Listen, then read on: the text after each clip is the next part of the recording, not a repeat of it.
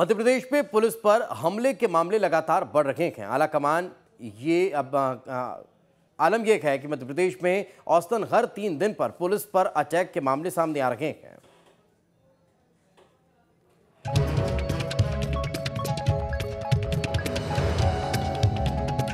MP में निशाने पर खाकी पाँच महीने में इक्यावन हमले।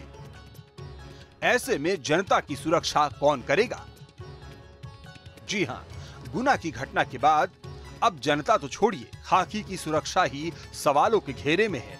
मध्य प्रदेश में पुलिस कर्मियों पर हमले के मामले लगातार बढ़ रहे हैं। आंकड़ों पर नज़र डालें तो एमपी में हर साल पुलिस पर हमले की करीब 80 घटनाएँ होती हैं। पिछले पाँच महीने में ही पुलिस पर इक्यावन बार हमले हो चुके हैं। इनमें से 32 घटनाएँ अवैध खनन, अवैध शराब और अवैध शिकार रोकने के दौरान हुई। जबकि 19 घटनाएँ फरार आरोपी को पकड़ने या कानून व्यवस्था बनाए रखने के दौरान हुई। ये आंकड़े अपने आप में डरावने हैं। मध्य प्रदेश में पाँच महीने में पुलिस पर हमले की इक्यावन घटनाओं का मतलब है कि हर महीने दस हमले और हर तीन दिन में एक बार पुलिस पर हमला।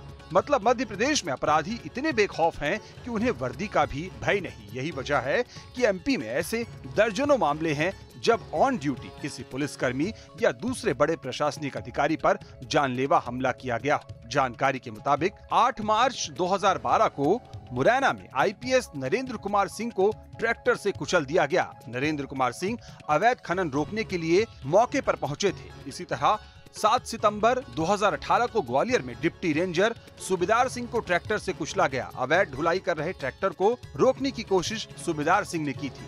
एक अगस्त 2020 को नर्मदापुरम में कांस्टेबल धर्मेंद्र यादव पर ट्रैक्टर चढ़ा दिया गया। अवैध रेत ले जा रहा ट्रैक्टर धर्मेंद्र यादव के दोनों पैरों को कुचलता हुआ चला गया। 4 फरवरी 2021 को ग्वालियर में टीआई सुधीर सिंह कुशवाहा को घेर कर पीटा गया। कुशवाहा पर फायरिंग की गई, जिसके बाद टीआई ने नाले में कूदकर जान बचाई। 22 मई 2021 को मुरैना में एसडीओ श्रद्धा पांढरे पर ट्रैक्टर चढ़ाने की कोशिश की गई। रेत से भरी ट्रैक्टर ट्रॉली को रोकने की कोशिश श्रद्धा पांढरे ने की थी। 30 अप्रैल 2022 को अशोकनगर में रेंजर आदित्य पुरोहित पर जानलेवा हमला हुआ। रेत माफिया ने रेंजर आदित्य पुरोहित की राइफल भी छीन ली थी। तो एमपी में खाकी की सुरक्षा ही अब सवालों के घेरे में है। ऐसे में बड़ा सवाल ये है कि जब खाकी ही सुरक्षित नहीं तो आम जनता की सुरक्षा की गारंटी कौन लेगा? Team, news state. तो मध्य प्रदेश में पुलिस पर हमले के मामले बढ़ रहे हैं। लेकिन मध्य प्रदेश में खनन माफिया, शराब तस्कर और अवैध शिकारी ये तीन वर्ग ऐसे हैं जिसके निशाने पर सबसे ज़्यादा पुलिस की रहा करती है। हालाँकि अब शासन ने भी अपराधियों के खिलाफ मुहिम तेज कर दी है। मध्य प्रदेश में गुना में पुलिस कर्मियों की मौत के बाद पुलिस की सुरक्षा को लेकर ही सवाल खड़े हो रहे हैं। हालाँकि गुना की घटना के बाद शासन प्रशासन ने मुहिम छेड़ दी है। गुना के गुनाहगार पुलिस के शिकंजे में है तो वहीं कुछ के घरों पर बुलडोजर भी चला दिए गए हैं। आगे भी पुलिस की दबिश जारी है।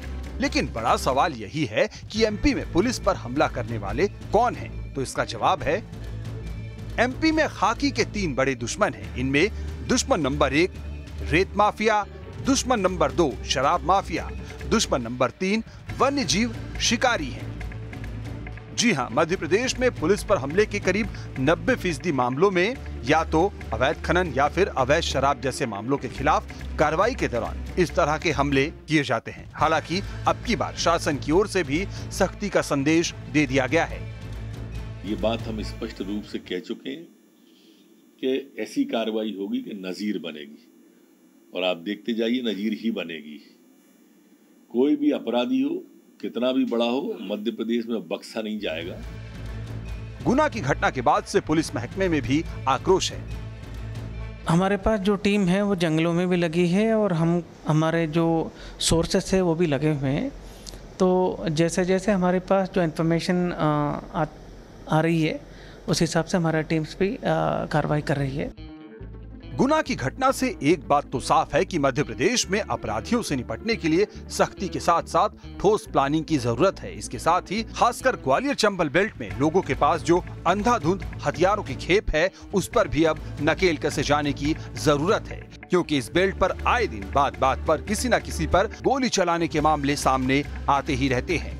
Team news state.